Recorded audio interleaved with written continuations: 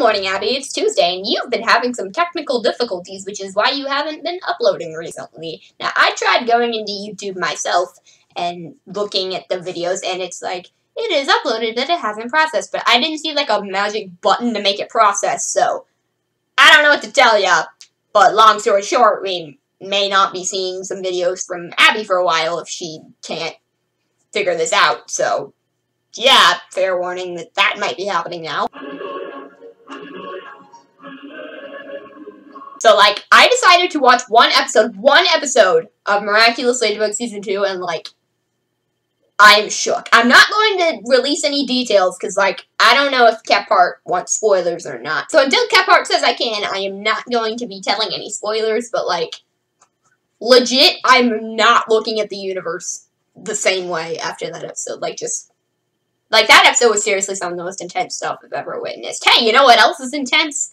My love for Super Mario Odyssey. For those who don't know, Super Mario Odyssey is a game that is coming out on the Nintendo Switch, like, literally three days from now. And it looks fan freaking tastic.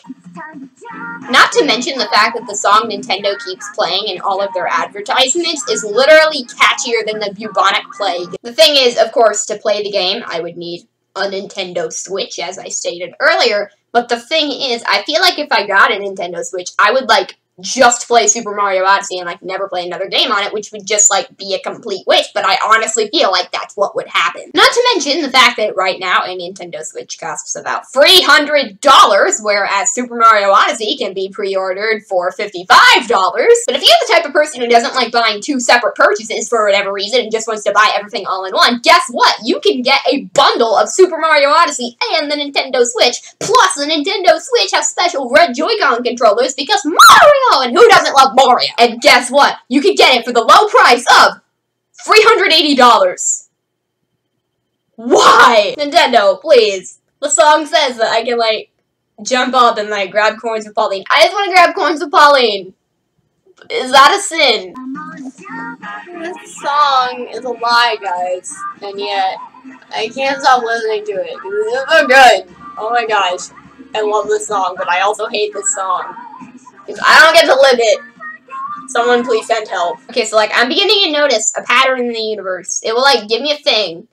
And it's like, you should want this thing. It's very good. And then I'm like, yes, yes I do want that thing. Give me that thing right now. And then the universe is like, no, no, you don't get this thing. Because screw you. I want to watch Winx Club, but I don't have stupid KidsClick because Sinclair Broadcasting is stupid. I want to watch Miraculous Ladybug, but it's not coming out until December anyway, and when it does, it will be on Netflix, which I don't have, so I'm gonna have to watch crappy pirated versions that are on YouTube with, like, ridiculously chipmunk voices, and it's gonna suck. I want to be Turtles all the way down, but instead, I don't get Turtles all the way down. I get no Turtles all the way up. Oh my god, my hair is insane. But the thing is, even though I don't have those things that, like, I want, I have things that, like, I actually need. Like, clean water and food and heat and shelter and people who actually like me.